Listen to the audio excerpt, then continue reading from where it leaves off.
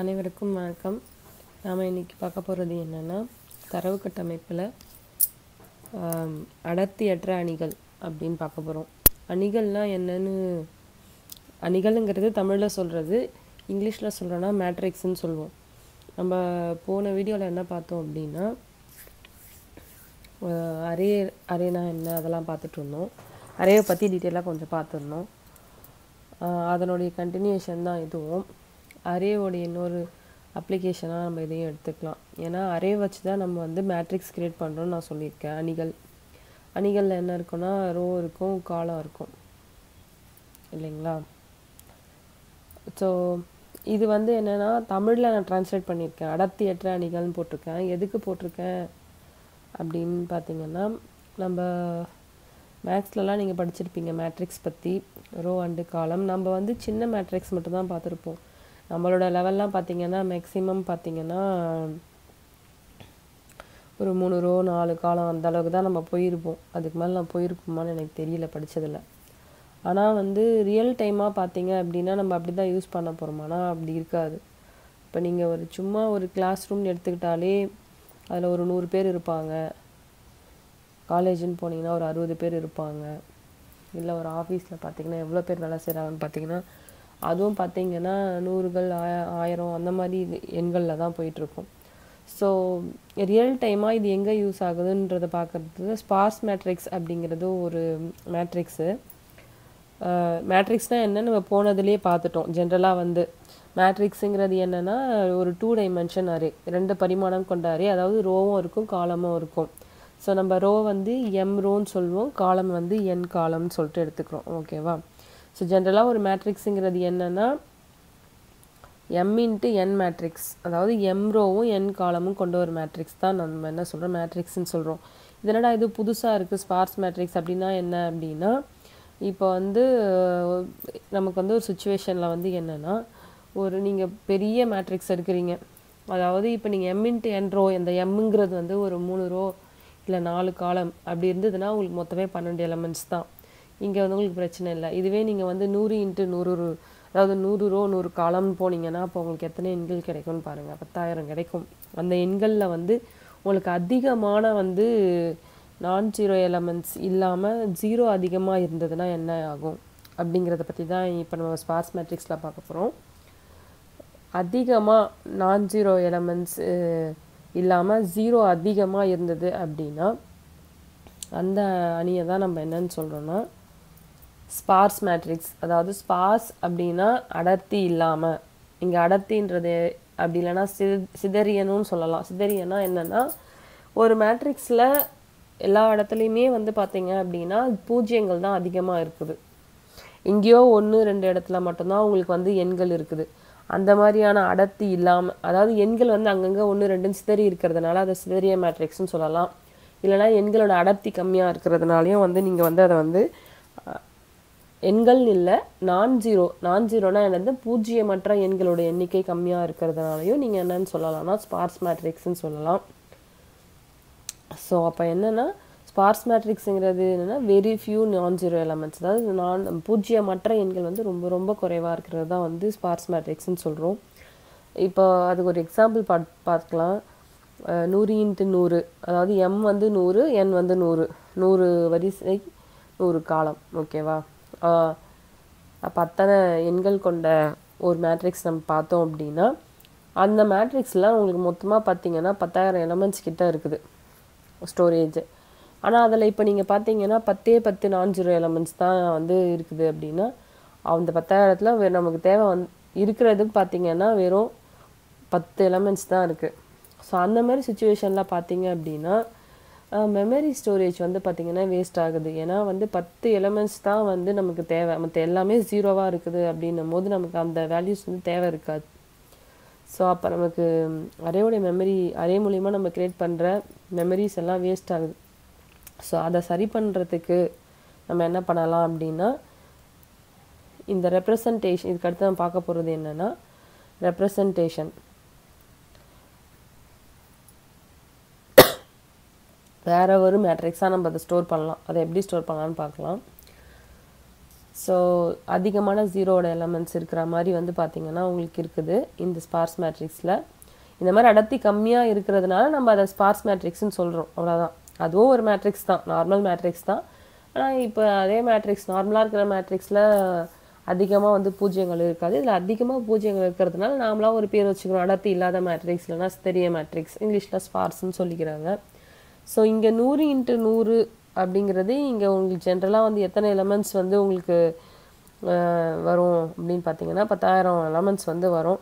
அதில் பத்தே பத்து நான்கு எலமெண்ட்ஸ்னு இருக்கும்போது மற்ற மெமரி மொத்தம் வேஸ்ட் ஆகுறதுனால நம்ம என்ன பண்ணுறோம் அப்படின்னா இதை வேறு ஒரு முறையில் ரெப்ரசன்ட் பண்ணுறோம் வேறு ஒரு மேட்ரிக்ஸாக வந்து க்ரியேட் பண்ண போகிறோம் இது வந்து இன்டீஜராக ஸ்டோர் பண்ணுச்சுன்னா நமக்கு இத்தனாயிரம் பை பைட்ஸ் வந்து நமக்கு வேஸ்ட் ஆகும். ஏன்னா ஒரு வேல்யூ இன்டீஜருக்கு ரெண்டு பைட் வந்து டேட்டா வந்து எடுத்துக்கும் ஸோ அதை வந்து நம்ம இப்போ எப்படி ரெப்ரசன்ட் பண்ணலாம்? வேறு மெத்தடில் வந்து ஏன் இவ்வளோ மெமரி வேஸ்ட் ஆகுது? அதை எப்படி மறுபடியும் யூஸ் பண்ணலாம் அப்படின்னா ஸ்பார்ஸ் மேட்ரிக்ஸ் ரெப்ரசன்டேஷன் போகிறோம் இதில் ரெண்டு மெத்தடு ஒன்று வந்து என்னென்னா ட்ரிப்ளெட் ரெப்ரசன்டேஷன் சொல்கிறோம் ட்ரிப்ளெட்னா மூணு வேல்யூஸ் வச்சு ரெப்ரசன்ட் பண்ணுறது இன்னொன்று வந்து லிங்க்டு லிஸ்ட் ரெப்ரசன்டேஷன் சொல்கிறோம் லிங்க்டு ப்ரெசன்டேஷன் என்னென்னா நம்ம லிங்க்டு லிஸ்ட் பற்றி இன்னும் நம்ம பார்க்கல. அதனால் அது நம்ம இப்போ இதில் பார்க்க போகிறதுல ட்ரிப்ளெட் ரெப்ரசன்டேஷன் மட்டும்தான் பார்க்க போகிறோம் லிங்க்டு லிஸ்ட் வரும்போது நான் அது என்னன்னு சொல்கிறேன் இங்கே ட்ரிப்ளெட் ரெப்ரசன்டேஷன்னா என்ன அப்படின்னா நம்ம மூணு வேல்யூஸ் மட்டும்தான் கன்சிடர் பண்ணுவோம். என்னென்ன அப்படின்னா நான் ஜீரோ வேல்யூஸ் இப்போ அந்த மேட்ரிக்ஸில் எது வந்து பூஜ்ஜியம் இல்லாமல் இருக்குதோ அந்த எண் அதுவும் இல்லாமல் அதனுடைய ரோ எந்த வரிசையில் இருக்குது அதே மாதிரி அது எந்த காலமில் இருக்குது அப்படிங்கிறது தான் வந்து என்ன நம்ம பார்க்க போகிறோம்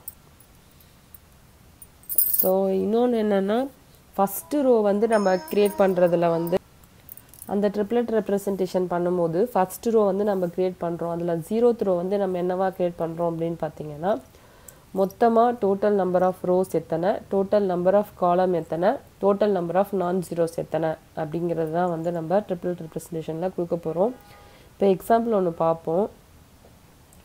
Matrix with size five into six அஞ்சு ரோ ஆறு காலம் இருக்கிற மாதிரி ஒரு matrix containing six number of non zero elements அஞ்சு இன்ட்டு ஆறு பார்த்தீங்கன்னா மொத்தம் உங்களுக்கு முப்பது எலமெண்ட்ஸ் வந்து ஒரு நீ மேட்ரிக்ஸில் போட முடியும். ஆனால் அதில் உங்களுக்கு மொத்தமே பார்த்தீங்கன்னா ஆறு நம்பர் தான் வந்து பூஜ்ஜியம் இல்லாமல் இருக்குது மற்ற எல்லாமே பூஜ்ஜியமாக இருக்குது. அப்போ அந்த மாதிரி இருக்கும்போது நீங்கள் எப்படி வந்து ட்ரிப்ளட் ரெப்ரசன்டேஷனில் கொடுப்பீங்க அப்படிங்கிறது தான் வந்து பார்த்திங்கன்னா நம்ம பார்க்க போகிற ட்ரிப்ளட் ரெப்ரசன்டேஷன் இப்போ இந்த மேட்ரிக்ஸை வந்து கன்சிடர் பண்ணுவோம். இது ஒரு நம்ம பழைய இதில் சொன்ன மாதிரி ஃபைவ் இன்ட்டு சிக்ஸ் அஞ்சு ரோ ஆறு காலம். ஸோ ரோனா என்னன்னு தெரியும்? ஜீரோ ஒன்று ரெண்டு மூணு நாலு. ஸோ அஞ்சு கா ரோ ஆறு காலம் இருக்குது ஒன்று ரெண்டு மூணு நாலு அஞ்சு ஆறு. மொத்தம் அஞ்சு ரோ இருக்குது ஆறு காலம் இருக்குது இதில் நான் ஜீரோ எலமெண்ட்ஸ் எத்தனைன்னு பார்த்தீங்கன்னா ஒன்று ரெண்டு மூணு நாலு அஞ்சு ஆறு. ஆறு நான் ஜீரோ எலமெண்ட்ஸ் தான் இருக்குது நான் சொன்ன மாதிரி ஃபஸ்ட்டு இப்போ எத்தனை ரோ எத்தனை ரோ எத்தனை காலம் அப்படிங்கிறத நம்ம எழுதிக்கிறோம். எத்தனை நான் ஜீரோ எலமெண்ட்ஸுங்கிறதையும் நம்ம எழுதிக்கிறோம். சரிங்களா? இப்போ வந்து ஜென்ரலாகவே உங்களுக்கு என்னன்னு தெரியும். இந்த இந்த வேல்யூ வந்து எதை ரெப்ரசன்ட் பண்ணுதுன்னா இது வந்து ஜீரோத்து ரோ சாரி ஜீரோத்து காலமை ரெப்ரசன்ட் பண்ணுது. இது வந்து எதை ரெப்ரசன்ட் பண்ணுதுன்னா ஜீரோத்து ரோவை ரெப்ரசன்ட் பண்ணுது. ஸோ நான் இது வந்து வேல்யூஸ் வந்து என்னென்னா number of non zero elements இங்கே எத்தனை இருக்குன்னா ஒன்று ரெண்டு மூணு நாலஞ்சு ஆறு இருக்குது ஓகேவா ஸோ நம்ம இஷ்டம் தான் இது. இங்கே வந்து நீங்கள் ட்ரிப்ளெட் ரெப்ரசன்டேஷனுங்கிறதுனால நீங்கள் வந்து ரோ காலம் வேல்யூஸ் இந்த தேர்டு வே என்னென்னா வேல்யூஸ் தான். அதாவது மூணு வேல்யூஸ் இருக்கணும். இப்போ நம்ம வந்து பார்ப்போம் எப்படி இது எழுதியிருக்காங்கன்றது. இந்த முதல் நம்பர் வந்து ஒம்போ ஒன்பது. ஒன்பதுங்கிறது இங்கே வேல்யூஸ் எழுதியிருக்கோம். நான்கு எலமெண்ட்ஸ் எல்லாமே நீங்கள் முதல்ல எழுதிக்கோங்க அந்த டேபிள் ஒன்பது எட்டு நாலு ரெண்டு அஞ்சு ரெண்டு ஸோ இது வந்து என்னென்னா எந்த ரோவில் இருக்குது இந்த ஒன்பதுங்கிறது ஜீரோத் ரோவில் இருக்குது அதே மாதிரி பார்த்தீங்கன்னா ரெண்டு மூணு நாலு ஃபோர்த்து காலமில் இருக்குது ஸோ வந்து இது எந்த ரோவில் இருக்குது எந்த காலமில் இருக்குது அப்படிங்கிறத ஃபைண்ட் அவுட் பண்ணி எழுதுகிறோம் நம்ம. அதே மாதிரி ரெண்டாவது நம்பர் எட்டுன்னு பார்த்தீங்கன்னா இது ஃபஸ்ட்டு ரோவில் இருக்குது அதே மாதிரி ஃபஸ்ட்டு காலமில் இருக்குது அப்புறம் ஃபோர் பார்த்தீங்கன்னா ஜீரோத்து ரோவில் இருக்கு. சாரி ஜீரோத்து காலமில் இருக்குது அதே மாதிரியே பார்த்தீங்கன்னா செகண்டு ரோவில் இருக்குது நெக்ஸ்ட்டு டூ பார்த்தீங்கன்னா அதே மாதிரி second row third column five பார்த்தீங்கன்னா இது வந்து கடைசி ஃபிஃப்த்து காலம் இது வந்து பார்த்திங்கன்னா தேர்டு ரோ ஜீரோ ஒன்று ரெண்டு மூணு.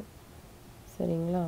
ரெண்டு பார்த்தீங்கன்னா தேர்டு ரோ இது ஃபோர்த் ரோ இப்போ fourth row zero one two second column so இந்த ட்ரிப்ளட் ரெப்ரசன்டேஷனுங்கிறது என்னென்னா நம்ம நான் ஜீரோ வேல்யூஸ் எல்லாத்தையும் வந்து தேர்டு காலமில் எழுதுகிறோம் இது எந்த ரோ எந்த காலமுங்கிறதையும் நம்ம வந்து இங்கே எழுதியிருக்கிறோம் ஸோ மொத்தமாக ஸோ வந்து நமக்கு இந்த மேட்ரிக்ஸோட ரோ வந்து பார்த்திங்கன்னா அஞ்சு ரோ அதே மாதிரி காலம் வந்து பார்த்திங்கன்னா ஆறு column number of non zero values வந்து ஆறு. ஸோ இதுதான் வந்து என்னென்னா ட்ரிப்ளட் ரெப்ரசன்டேஷன் அப்படின்னு சொல்லிட்டு நம்ம சொல்கிறோம் ஸோ இப்படி எழுதிட்டோம் அப்படின்னா நமக்கு வந்து இதில் இருக்கிற இந்த சேவ் பண்ண மெமரிஸ் எல்லாம் வந்து நமக்கு சே வேஸ்ட் ஆகாமல் இந்த ரெப்ரசன்டேஷனில் கொடுக்கும்போது மொத்தமாக வந்து உங்களுக்கு மொத்தமே ஆறு எலமெண்ட்ஸ் தான் சேவ் பண்ண போகுது. அதனால் வந்து பைட்ஸ் வந்து கம்மியாக எடுத்துக்கும் ஸோ இது ப்ராக்டிக்கலாக வந்து எங்கே வந்து யூஸ் ஆகுதுன்னு பார்த்தீங்கன்னா யூஸ் ஆகுதுன்னு பார்ப்போம். இது இதுக்கு நான் ஒரே ஒரு நல்ல எக்ஸாம்பிள் வந்து சொல்கிறேன் ப்ராக்டிக்கலாக இந்தியாவில் வந்து இப்போ இன்றைக்கி வந்து ரெயின்ஃபால் வந்து எங்கெங்கெல்லாம் இருக்குது அப்படின்னு சொல்லிட்டு நம்ம இப்போ மெட்ரலஜி டிபார்ட்மெண்ட்டில் வந்து ஏதோ ஒரு மாடல் வந்து நான் அவங்க ரன் பண்ணுறாங்கன்னு வச்சுப்போமே அப்போ வந்து பார்த்தீங்கன்னா அது இந்த ஸ்டேஷன் பேர் இதெல்லாம் எந்த ஸ்டேட்டுன்னு போட்டிருக்குது ரெயின்ஃபால் வந்து இங்கே மட்டும்தான் இருக்குது. ஸோ அப்போ மிச்சம் இருக்கிற இந்தியாவில் இருக்கிற ஸ்டேட்ஸில் எல்லாத்தையும் பார்த்தீங்க அப்படின்னா அந்த டேபிளில் பார்த்தீங்கன்னா வேல்யூஸ் எல்லாமே ஜீரோவாக தான் இருக்கும். ஏன்னா இந்த இடத்துல மட்டும்தான் வந்து நமக்கு ரெயின்ஃபால் இருக்குது மற்ற இடத்துலலாம் வந்து ஜீரோ தான் இருக்கும். ஸோ அந்த மாதிரி டேட்டாவை வந்து இப்போ நீங்கள் சேவ் பண்ணணும் அப்படின்னு நினச்சிங்கன்னா இப்போ நமக்கு இதில் நான் ஜீரோ வேல்யூஸ் பார்த்தீங்கன்னா இது மட்டும்தான் இருக்கும். ஸோ மற்றதெல்லாம் வந்து பார்த்திங்கன்னா ஜீரோஸ்னு இருக்கும். ஸோ அந்த இடத்துல வந்து நீங்கள் ஸ்பார்ஸ் மேட்ரிக்ஸாக தான் இருக்கும் அது. ஸோ அந்த ஸ்பார்ஸ் மேட்ரிக்ஸை நீங்கள் ட்ரிப்ளட் ரெப்ரசன்டேஷனாக ரெப்ரசன்ட் பண்ணிட்டீங்க அப்படின்னா உங்களுக்கு பார்த்திங்கன்னா எல்லா வேல்யூஸுமே வந்து பார்த்தீங்க அப்படின்னா ட்ரிப்ளெட்டில் வந்து ஸ்டோர் பண்ணிங்கன்னா மெமரி வந்து கம்மியாக எடுத்துக்கும். ஸோ இது வந்து ஒரு ப்ராக்டிக்கலாக வந்து யூஸ் பண்ணலாம். நீங்கள் ட்ரிப்ளெட் ரெப்ரசன்டேஷனுங்கிறத வந்து ப்ரோக்ராம் க்ரியேட் பண்ணலாம். க்ரியேட் பண்ணிவிட்டு அந்த மேட்ரிக்ஸ் பாஸ் மேட்ரிக்ஸாக இல்லையான்றதுக்கு ஒரு ப்ரோக்ராம் எழுதிட்டு அதை வந்து ட்ரிப்ளெட்டில் ரெப்ரசன்ட் பண்ணுறதுக்கும் ப்ரோக்ராம் எழுதிட்டோன்னா அது வந்து நமக்கு மெமரி வந்து கம்மியாக எடுத்துக்கும். சேவ் பண்ணும்போது.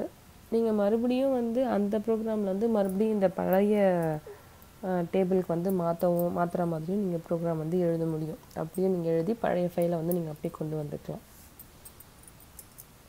ஸோ ஸ்பாஸ் மேட்ரிக்ஸ் தான் என்னென்னு புரிஞ்சிருக்கும்னு நினைக்கிறேன். அதை எப்படி ரெப்ரசன்ட் பண்ணணும் அப்படிங்கிறதும் புரிஞ்சிருக்கும்னு நினைக்கிறேன். நன்றி.